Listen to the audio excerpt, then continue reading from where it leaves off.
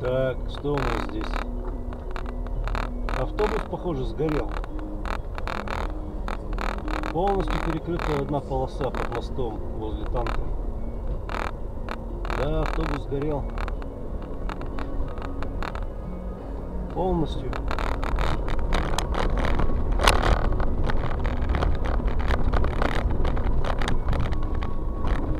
Такое вот веселье с утра у нас.